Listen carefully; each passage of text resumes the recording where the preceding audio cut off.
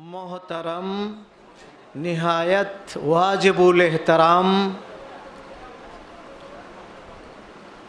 এই শতাব্দীর সুনিয়ত ও সুফিবাদের মুখপত্র এবং জনক বাংলাদেশ শুধু নয়, গোটা বিশ্বের আশেক রসুল এবং সুফিজমের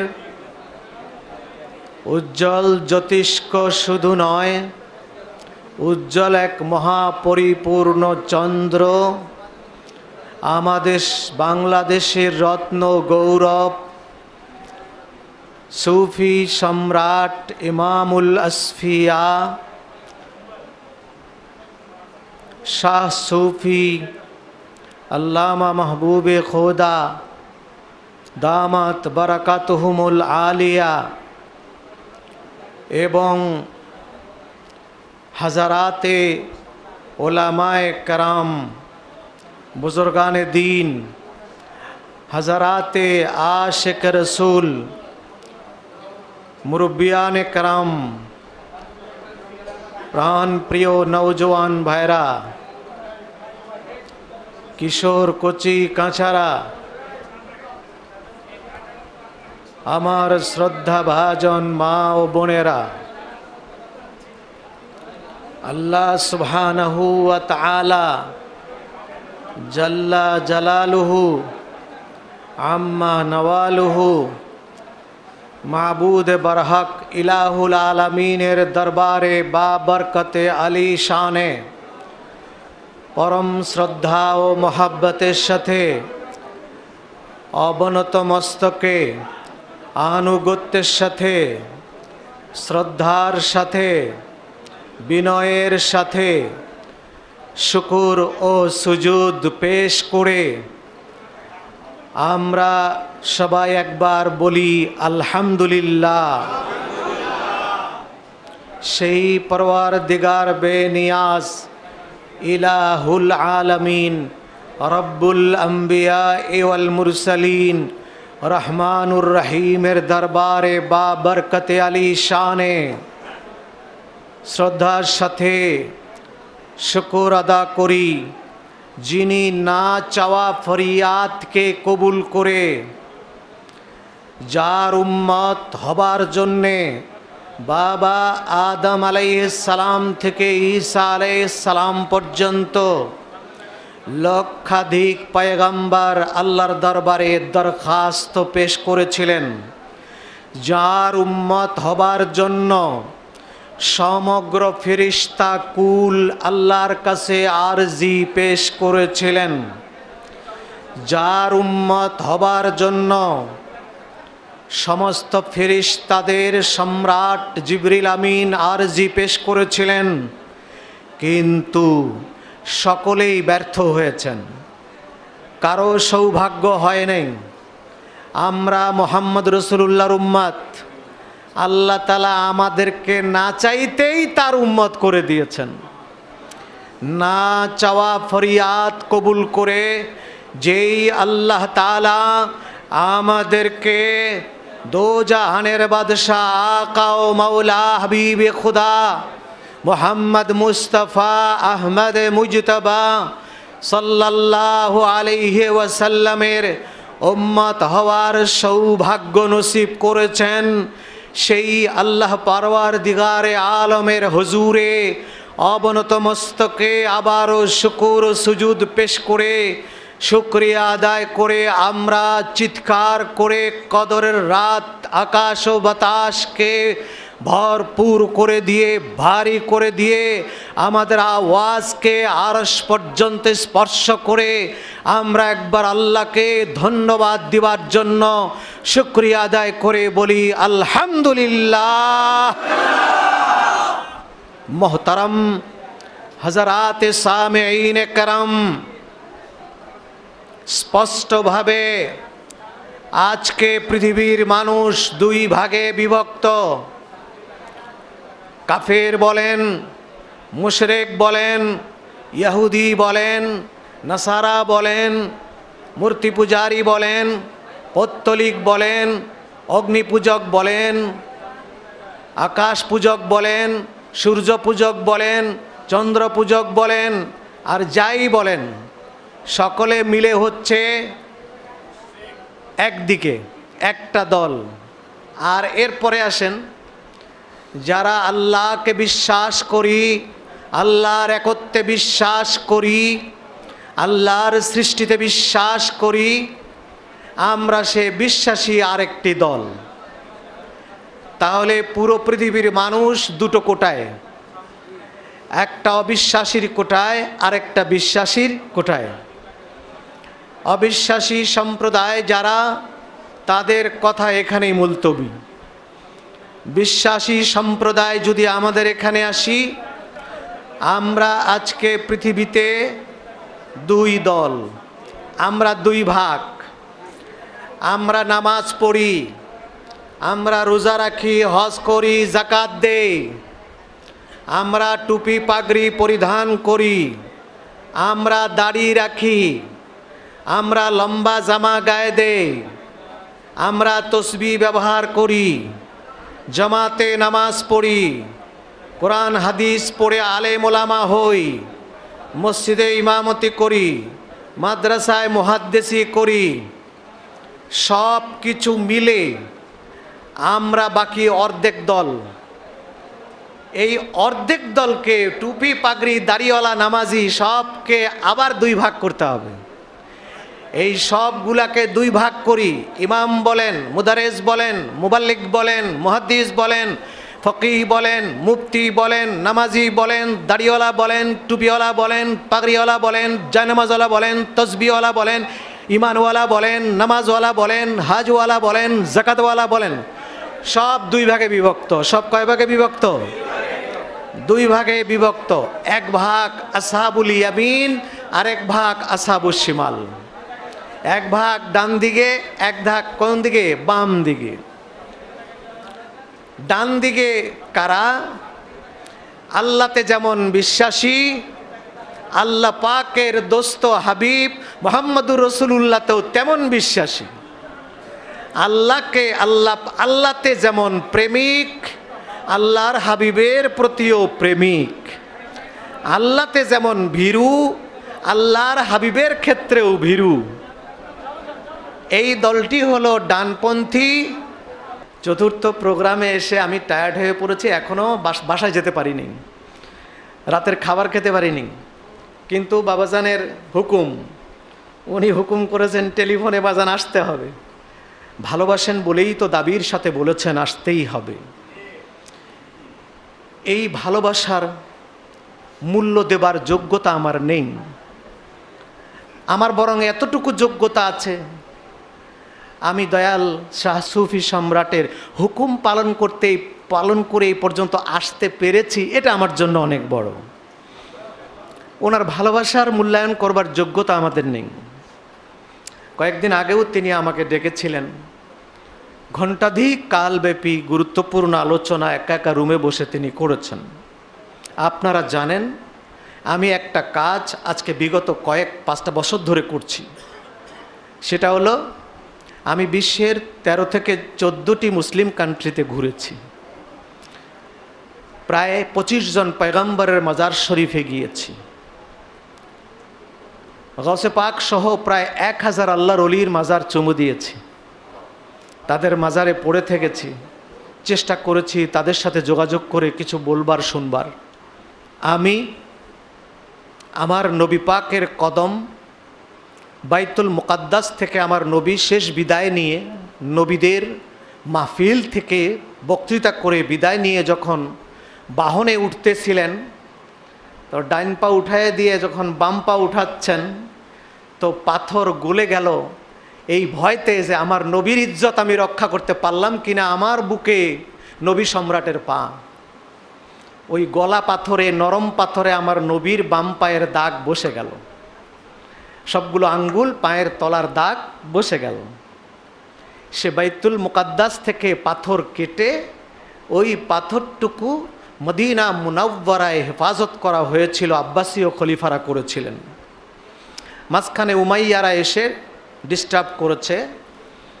সেই উমাইয়া আব্বাসীয় লড়াই, আব্বাসীয়রা আমার নবীর ফ্যামিলির পক্ষে, উমাইয়ারা ইয়াজিদের পক্ষে।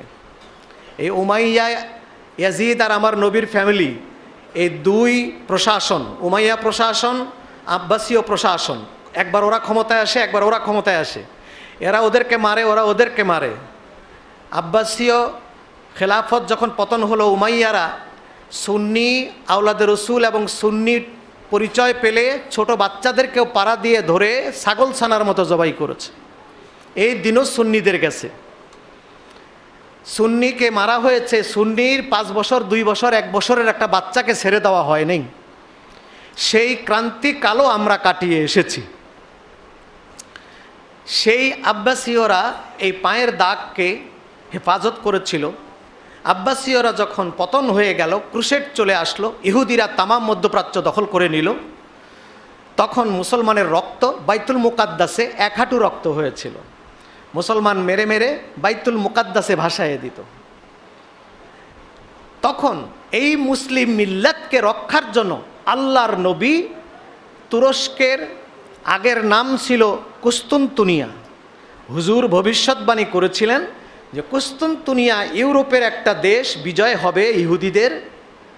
সেই দেশ যে বিজয় করবেন, সে আমির কতই না সুন্দর হবে আমার নজরে। এতটুকু কথা হুজুর বলে গেছেন হাদিসে। সেখান থেকে জন্ম নিল ওসমান গাজী।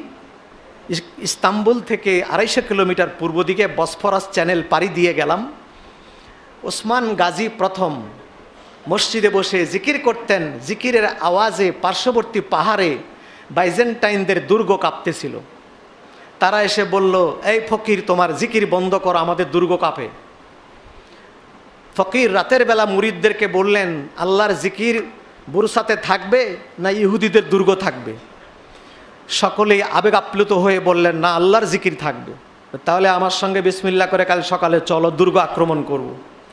বলো, হুজুর বলেন কি, বিশাল ইহুদি শক্তি, এত বড় দুর্গ, হাজার হাজার হাজার আর আপনি আমাদের নিরস্ত্রয় এই কটা মানুষ নিয়ে মারবেন? বলে, না, হয় আল্লাহর নাম থাকবে আর না হয় আমরা শেষ হয়ে যাব দুটার একটা। সকালবেলা ফজরের নামাজ পড়ে দুর্গের সামনে নারায় তকবির দিয়ে যখন লা ইলাহা ইল্লাল্লাহ জিকির শুরু করে দিল, ভূমিকম্প পয়দা হলো, দুর্গ থেকে সমস্ত ইয়াহুদি ভেঙে গেল। দুর্গ জয় করলেন, সেই থেকে শুরু হলো জয়। সেই জয় শুরু হতে হতে হতে হতে বারোশো খ্রিস্টাব্দের প্রথম দশক থেকে শুরু হয়েছে। সেই ওসমানী খলিফা বলে, ওনার নাম ওসমান গাজী। সেই জন্য তার নামে ওসমানী খেলাফত, যেটাকে ইংরেজরা ব্যঙ্গ করে নাম রাখল অটোমান সাম্রাজ্য, অটোমান ওসমানকে অটোমান বলতো। ইংরেজদের কাজই হলো, ইহুদিদের কাজই হলো মুসলমানের সমস্ত নামকে ব্যঙ্গ করে উচ্চারণ করা। হজরতে আসিয়ার নাম রাখছে নেফার তারি। আসিয়া ইসলামের মাজারে গেছি মিশরে, কুইন ভিলাতে গেলাম, কায়রো থেকে নয়শো কিলোমিটার দক্ষিণে। আসওয়ান। আসওয়ান থেকে আরও দুশো কিলোমিটার দক্ষিণে লকসুর। লকসুরের আরবি নাম ছিল চার হাজার বছর আগে আল উকসুর উকসুরে ফেরাউনের প্রথম কবর দেখতে গেলাম।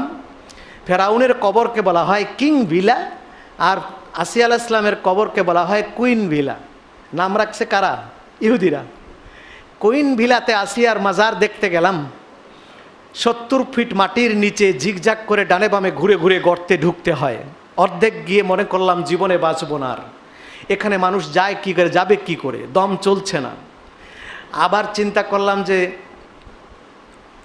এমন একটা জায়গায় এসে আমি ঘুরে যাব জীবন থাকতে, এটা হয় না। যত কষ্ট হোক, ভিতরে আমাকে যেতেই হবে। সিকিউরিটিকে আমি বুঝাই শুনে বললাম, বাবা, আমি একটু শুটিং করব, পুলিশ আসলে আমাকে ইশারা দিও, আমি তোমারে খুশি করব।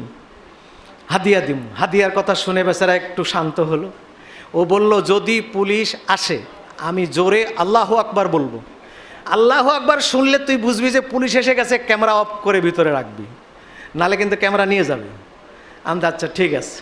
আর আল্লাহ আকবার না বলা পর্যন্ত তুমি চালিয়ে যাও। আরবি জানলে আরব বিশ্ব এত মজার, আর কোনো কোথাও জায়গা নেই। আরবি জানতে হয়। আরবি না জানলে কিছু না। গেলাম ভিতরে। মা আসিয়া আলাইহাসালামের কবরের পাশে লম্বা পাথরের মধ্যে লেখা রাখছে Nefertari was the beautiful company of the Ramses the second but but কয়ে যা লেখছে, এইটা পড়ে মনটা মুসর দিল। যে সে নেফারতারি এই রামসিস সেকেন্ড হলো ফেরাউন। যে ফেরাউনের সবচেয়ে সুন্দরী, প্রিয় একজন সঙ্গিনী ছিলেন।